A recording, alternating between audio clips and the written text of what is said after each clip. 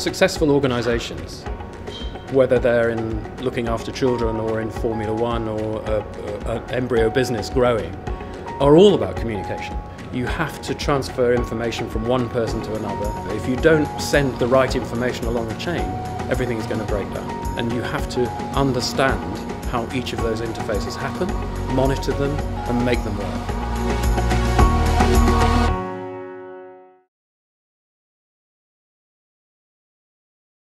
One or an embryo business growing are all about whether they're in looking after children or in Formula One communication.